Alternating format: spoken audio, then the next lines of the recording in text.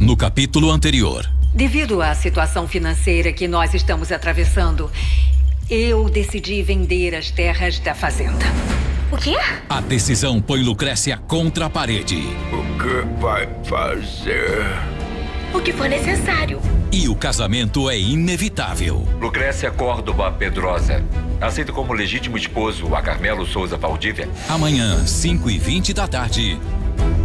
Meu pecado.